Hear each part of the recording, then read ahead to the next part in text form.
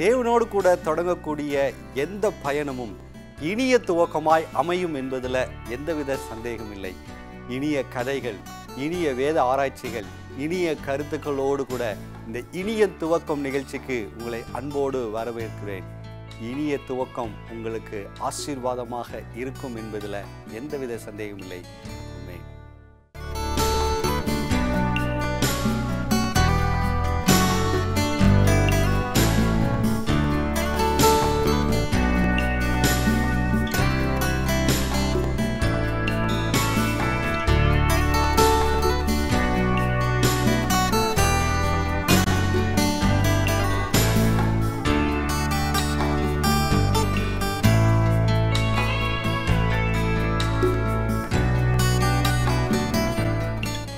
கர்த்தருடைய நாமம் நம் மத்தியிலே மைமைப்படுவதாக ஹோப் டிவி நேயர்கள் உங்கள் அனைவரையும் ஆண்டவராகிய இயேசு கிறிஸ்துவ நாமத்தினாலே அன்போடு கூட வாழ்த்துகிறேன். இனிய துவக்கம். இந்த நிகழ்ச்சிக்குள்ளாய் உங்களை அன்போடு வரவேற்கிறேன். இந்த நிகழ்ச்சி அநேகருக்கு ஆசீர்வாதமாக இருந்து கொண்டிருக்கிறது என்று நான் கர்த்தருக்குள் நம்புகிறேன். இந்த நாளின் நிகழ்ச்சியில் நானும் என்னுடைய குடும்பத்தாரும் உங்க வந்திருக்கிறோம். உங்களோடு கூட பல காரியங்களை பகிர்ந்து கொள்வதற்காக வந்திருக்கிறோம். வாங்க என்னுடைய குடும்பத்தை அறிமுகப்படுத்துகிறேன் ஜெபசீலி சுதா என்னுடைய மனைவி இருக்கிறாங்க. இந்த நிகழ்ச்சி உங்களுக்கு எப்படி இருக்குது? ஆசீர்வாதமாக இருக்குதா? ரொம்ப ஆசீர்வாதமாக இருக்குது. நிகழ்ச்சியில் நம்ம பேசுகிறது நம்ம ஆண்டவருடைய வசனத்தை தியானிக்கிறது நம்ம வாழ்க்கைக்கும் நம்ம குடும்பத்துக்கும் ரொம்ப யூஸ்ஃபுல்லாகவும் இருக்குது நேயர்களுக்கும் இது ஆசீர்வாதமாக இருக்கணும்னு நான் கத்தருக்குள் விசுவாசிக்கிறேன். ஆமேன் ஆமேன். நிச்சயமாக எல்லா நேயர்களுக்கும் இந்த நிகழ்ச்சி ஆசீர்வாதமாக இருந்து கொண்டிருக்கிறது. என்னுடைய மகன் ஜோசப் ஜோசப் செல்வராஜ் எப்படி இருக்கிறீங்க? நல்லா இருக்கிறீங்களா? நான் நல்லா இருக்கேன். ஆண்டவர் சோத்திரம். அஹ் இந்த நாளின் நிகழ்ச்சியில் முதலாவதாக நம்ம சிறு பிள்ளைகளுக்காக நம்ம ஜோசப் இருக்கிறதுனால சிறு பிள்ளைகளுக்காக நம்ம ஒரு கதையோடு நம்ம ஆரம்பிக்கலாம். ரொம்ப அழகான ஒரு கதையை ஜோசப் சொல்ல போகிறார் ஜோசப் சொல்லுங்கள் ஒரு அழகான கதை சொல்லுங்கள் சின்ன பிள்ளைங்கள்லாம் பார்த்துட்டு இருக்கிறாங்க. அவங்களுக்கு அழகான ஒரு கதை சொல்லுங்கள் பார்ப்போம் ஆள் இன்னொரு நாடு இருந்துச்சான் அந்த நாட்டில் ஒரு குட்டி பையன் இருந்தானா. அந்த பையன் அவங்க அப்பா அம்மா சொல்லி பேச்சு கேட்டு நல்லா குட்டாக இருப்பானா. குட்பா ஆமாம் அப்போ வந்து அவன் அந்த பையன் வந்து ஒரு அவனோட ஃப்ரெண்டு வீட்டுக்கு போயிட்டு இருக்க போது ஒரு சத்தத்தை கேட்டானா அந்த நாடு சுற்றியும் தன் கடலாக தான் இருந்துமா கடல் நடுவில் தான் நாடு இருக்குமா தண்ணி வந்து அடிச்சிட்டு போகக்கூடாதுன்னு ஒரு சுவர் கட்டி வச்சிருந்தாங்களா சுற்றி சரி சொல்லுங்க. அப்புறம் என்னாச்சு? அப்புறம் அந்த அதுக்கப்புறம் அந்த பையன் சவுண்ட் வந்துச்சு. எந்த சவுண்ட் பார்த்தா ஒரு சவுரில் ஒரு ஓட்டை இருந்துச்சான் ஓட்டையிலேயே ஒரு தண்ணிலாம் வந்துடுச்சான் சரி யாராவது கூப்பிடலாம் அப்படின்னு கூப்பிட்டானே. யாருமே இல்லையா. சரி நம் நம்பி அடிக்கலாம் அப்படின்னு அழைச்சிட்டு இருந்தான். ஒருக்கையை விட்டு ஒருக்கையை அடிச்சிட்டு நான் நைட்டு ஆயிடுச்சான் இன்னும் ஒருக்கையை விட்டு ஒருக்கையை விட்டு ஒருக்கையை விட்டு பண்ணிகிட்டே இருந்தான். அப்போ வந்து காலையில் கழிச்சான் ஜுரம் வந்துடுச்சு உடம்பு வேற முடியாமல் ஆயிடுச்சு. அப்போ வந்து காலையில் ஒரு தாத்தா வந்து நடந்து போயிட்டு இருந்தாங்களாம்.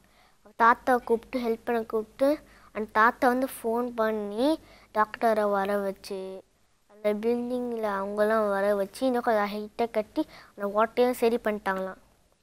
அதுக்கப்புறம் ஹாஸ்பிட்டலுக்கு கூ கூப்பிட்டு போய் அந்த பையனும் சரி பண்ணிட்டாங்க. அதே அவன் மட்டும் அந்த பையன் மட்டும் விட்டுட்டானா நம்மளுக்கு ஒன்று நம்ம போயிடுவோம் அப்படின்னு அந்த பையன் விட்டுட்டு போயிட்டானா?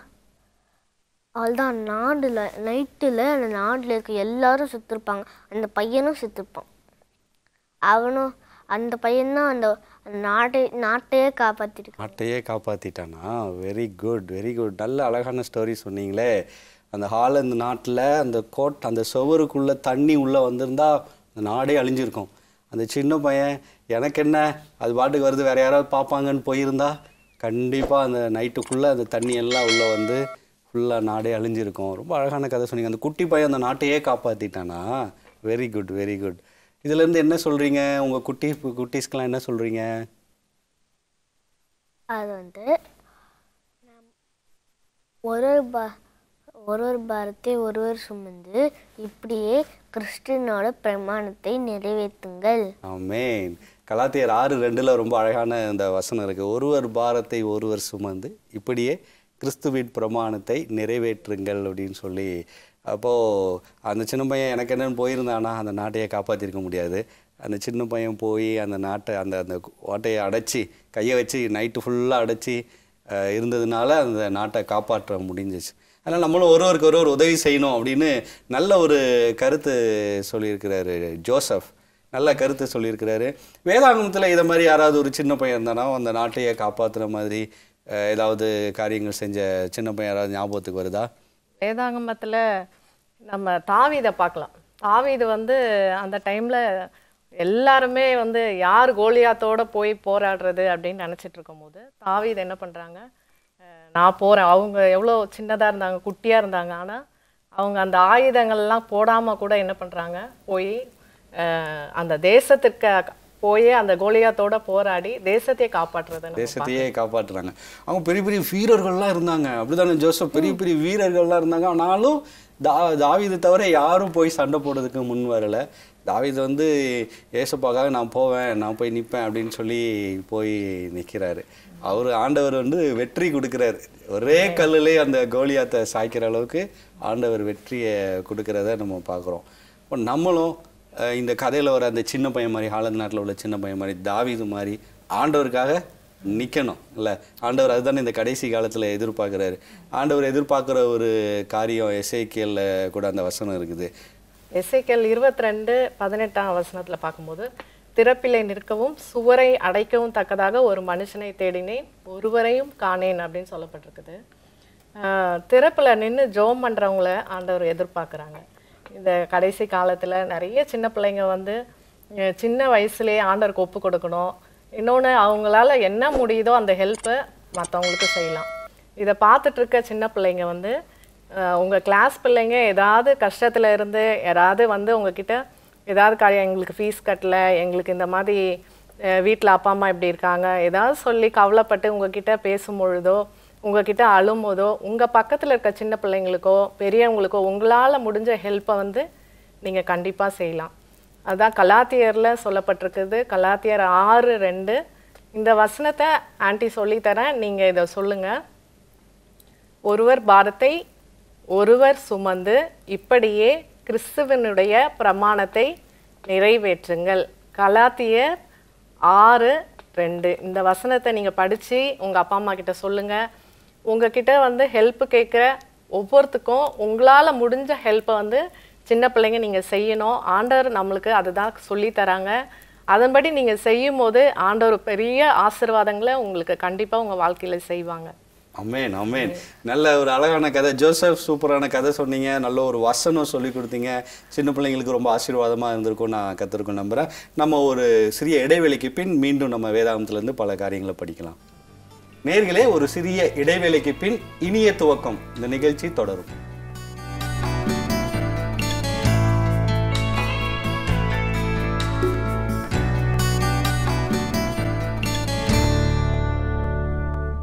நேர்களே இடைவேளைக்கு பின் இனிய துவக்கம். இந்த நிகழ்ச்சிக்குள்ளாய் உங்களை மீண்டும் அன்போடு வரவேற்கிறேன்.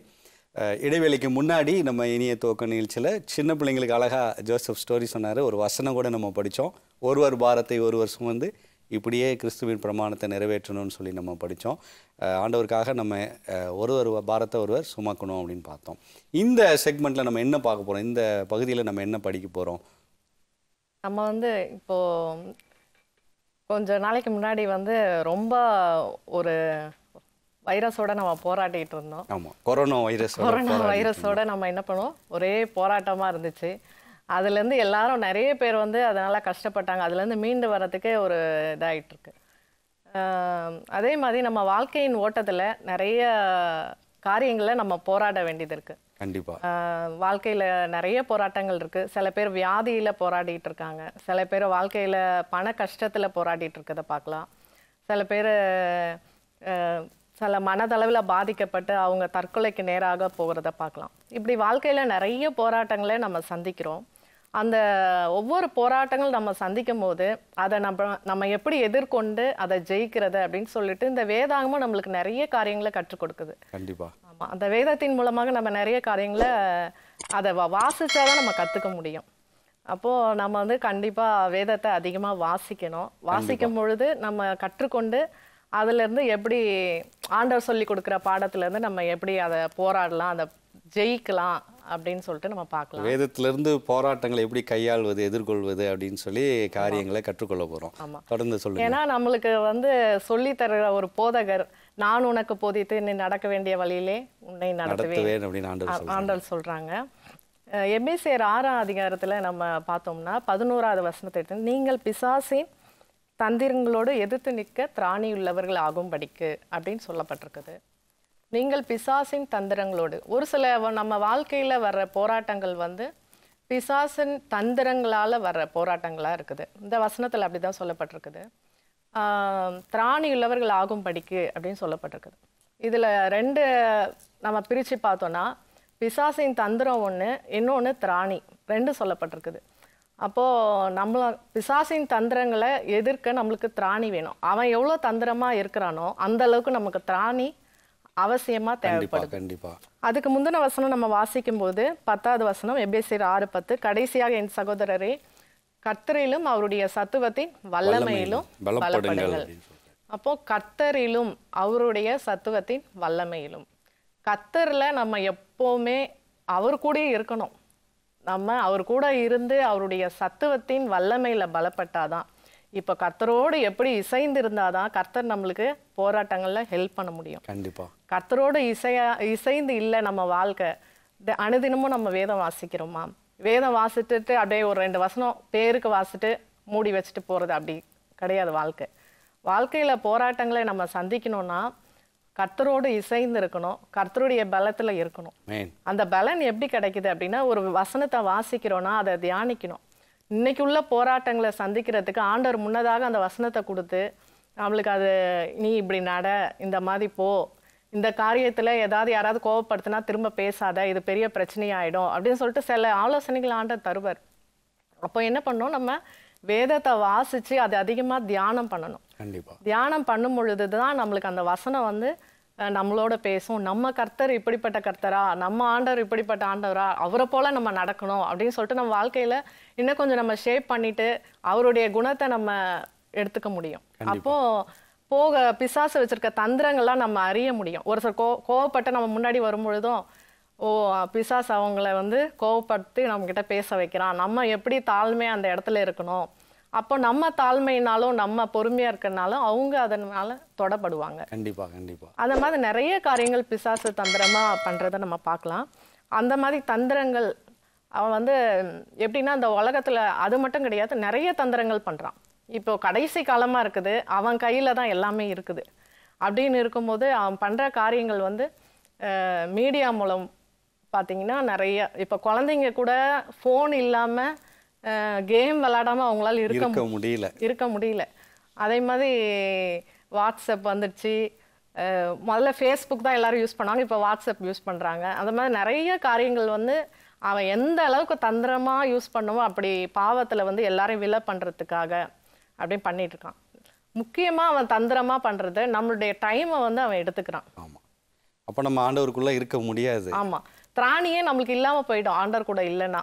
இப்போ நம்மளுக்கு பலன் எதனால கிடைக்குது? கத்ரு கத்தரிலும் அவருடைய சத்துவத்தின் வல்லமையிலும் பலப்படுங்கள்.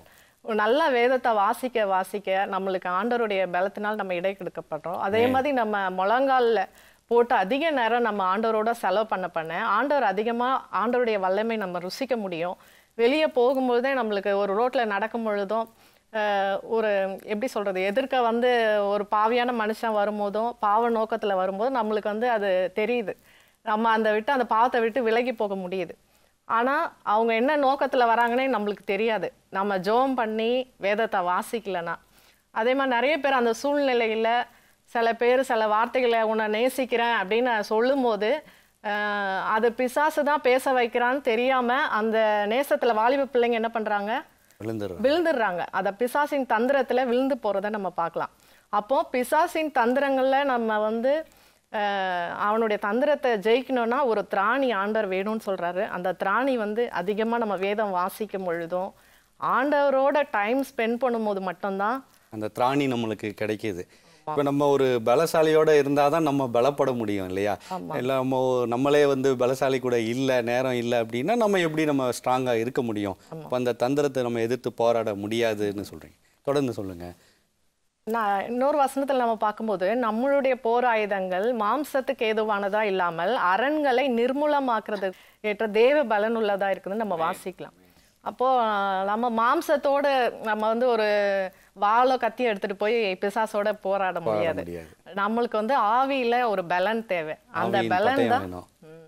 வேத வசனத்தின் மூலமாகவும் ஆண்டவரோட நல்லா டைம் ஸ்பெண்ட் பண்ணி ஆண்டவரை வாழ வாழ ஆண்டவர் என்ன பண்றாரு?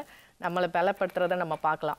வாலிப பசங்க என்ன பண்ணணும்? நம்ம சின்ன பிள்ளைங்களோ வாலிப பசங்களோ நம்மளும் எப்பவுமே ஆண்டவரோட எப்பவுமே டைம் ஸ்பெண்ட் பண்றதுக்கு நம்ம நம்ம டைமை புதுக்கணும்.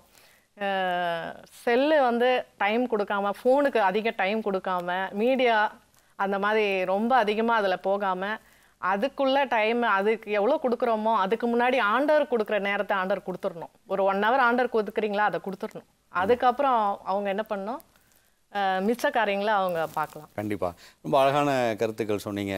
அந்த போராட்டத்தில் நம்ம எதிர்கொள்ளணும்னா முதலாவது சத்ருவுக்கு ஈக்குவலாக நம்மளும் என்ன பண்ணணும்? பலப்படணும் அப்படின்னு சொல்லி. தொடர்ந்து நம்ம இது குறித்து படிப்போம். ஒரு சிறிய இடைவேளைக்கு பின்னாடி. நேர்களே ஒரு சிறிய இடைவேளைக்கு பின் இனிய துவக்கம். இந்த நிகழ்ச்சி மீண்டும் தொடரும்.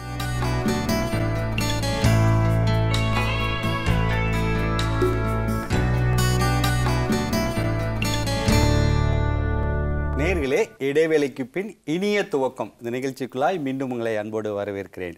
இடைவேளைக்கு முன்னாடி நம்ம எபிசிஆர் ஆறாவது அதிகாரத்திலேருந்து ஒரு சில கருத்துக்களை பார்த்தோம்.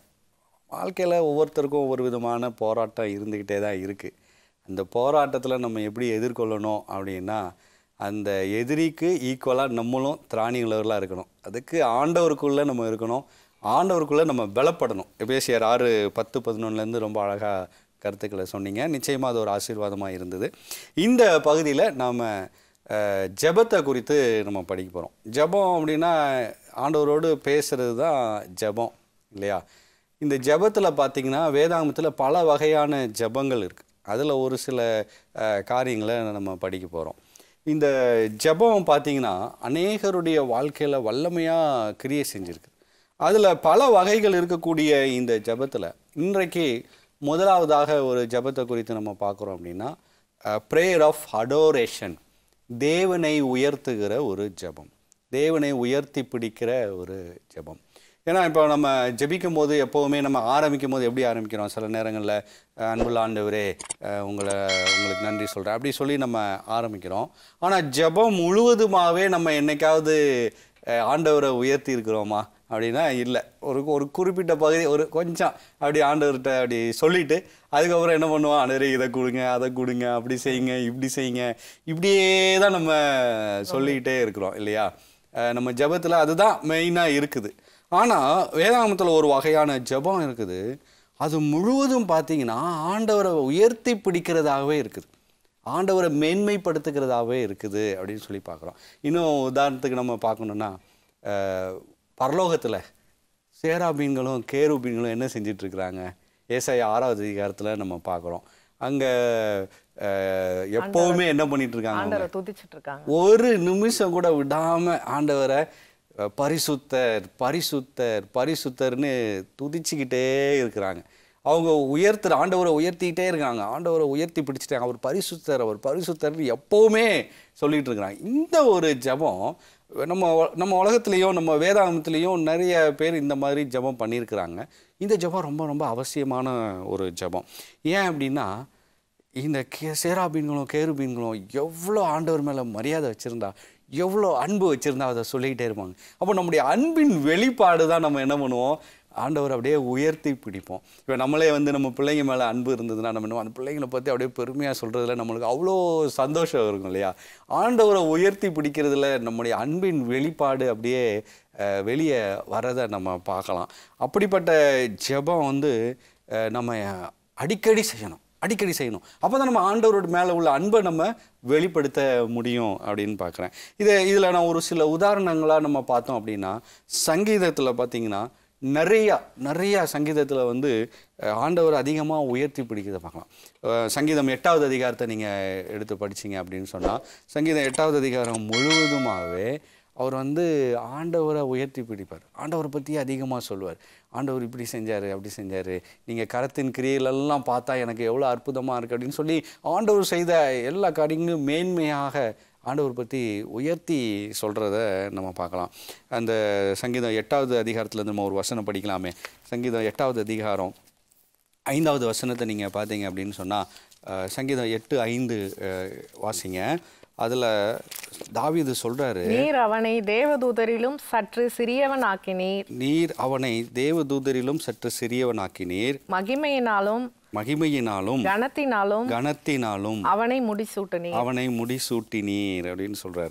இங்க ஒண்ணாவது வசனத்திலேயே நம்ம பார்க்கலாம். இப்போ இந்த இந்த வசனத்துல மனுஷனை எப்படி நீங்க ப- படைச்சீங்க அப்படின்னு சொல்லி தன்னை உருவாக்குற தேவனை உயர்த்தி சொல்றாரு. ஒண்ணாவது வசனத்துல நம்ம பார்க்கலாம். எங்கள் ஆண்டவராகிய கர்த்தாவே உம்முடைய நாமம் பூமி எங்கும் எவ்வளவு மேன்மையுள்ளதா இருக்கிறது. உம்முடைய மகத்துவத்தை வானங்களுக்கு மேலாக வைத்தீர். ஆண்டவரை உயர்த்தி சொல்றாரு. அந்த வசனங்கள் ஃபுல்லா ஆண்டவரை உயர்த்தி சொல்றாரு. அவர் முடிக்கும் போது அந்த சங்கீதம் முடிக்கும் போதும் பாருங்க எங்கள் ஆண்டவராகிய கத்தாவே உம்முடைய நாமம் பூமி எங்கும் எவ்வளவு மேன்மையுள்ளதாக இருக்குது ஆண்டவருடைய நாமம் எவ்வளவு மேன்மையுள்ள ஒரு நாமம். இன்னும் நம்ம பார்க்க போனால் இந்த சங்கீதம் பதினெட்டாவது அதிகாரம் பார்த்தீங்கன்னா அது முழுவதுமா ஆண்டவரே நீங்கள் தான் என் பலன் நீங்கள் தான் எனக்கு எல்லாம் நீங்கள் தான் நீங்கள் தான் அப்படின்னு சொல்லி ஆண்டவரை உயர்த்தி படிப்பார் அந்த சங்கீதம் முழுவதுமாகவே. அதே போல் சங்கீதம் இருபத்தி ஒம்போதில் பார்த்தீங்கன்னா ஆண்டவருடைய சத்தத்தை குறித்து அவ்வளோ அற்புதமாக சொல்லிடுவோம் உங்கள் சத்தம் இப்படி இருக்குது பெண்மான்களை ஈன ஈனும்படி செய்யுது உங்கள் சத்தம் கேதுரு மரங்களை முறிக்குது அப்படின்னு சொல்லி ஒவ்வொரு காரியத்தை குறித்தும் ஆண்டவருடைய ஒவ்வொரு காரியத்தை குறித்தும் மேன்மையாக சொல்கிறத பார்க்குறோம். எத்தனை பேர் நம்ம இப்படி ஜெபிக்கிறோம்? எத்தனை பேர் ஆண்டவரை உயர்த்தி அதிகமாக நம்ம ஜெபிக்கிறோம்? இந்த ஜெபங்கள்லாம் ஆண்டவரை முழுவதுமாக உயர்த்தி பிடிக்கிற ஜெபங்களாக இருக்குது சங்கீதம் நூற்றி நாற்பத்தைந்து பார்த்தீங்கன்னா அதே போல் உயர்த்தி பிடிக்கிறதா இருக்கும். நெகைமியா ஒன்பதாவது அதிகாரத்தை பார்த்தீங்கன்னா ஆண்டவரை குறித்து உயர்த்தி பிடிக்கக்கூடிய எல்லா வார்த்தைகளும் வசனங்களும் ஆண்டவரை உயர்த்தி சொல்கிறதா இருக்கும். யோபு எடுத்துக்கோங்களேன். யோபு நாற்பத்தி ரெண்டு ரெண்டுலேருந்து அஞ்சு வசனங்களை பார்த்தீங்கன்னா ஆண்டவரே நீங்கள் செய்ய நினச்சது ஒன்றும் தடைபடாது அப்படின்னு சொல்றாரு. அதை வாசிக்கலாமே. யோபு நாற்பத்தி ரெண்டாவது அதிகாரம் ரெண்டு முதல் ஐந்து வசனங்களை நம்ம படிச்சோம் அப்படின்னா அங்க யோபு சொல்றாரு. தேவரீர் சகலத்தையும் செய்ய வல்லவர். தேவரீர் சகலத்தையும் செய்ய வல்லவர். நீ செய்ய நினைத்தது நீ செய்ய நினைத்தது தடைப்படாது என்று அறிந்திருக்கிறேன் அப்படின்னு சொல்றாரு. அதே மாதிரி நாலாவது வசனத்தை பார்த்தீங்கன்னா நீங்க அஹ், நீர் எனக்கு செவிக்கணும் அப்பொழுது நான் பேசுவேன் அப்படின்னு சொல்றாரு.